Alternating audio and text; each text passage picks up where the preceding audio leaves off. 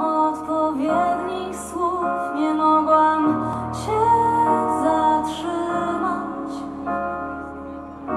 Może kiedyś wrócisz tu czas leczy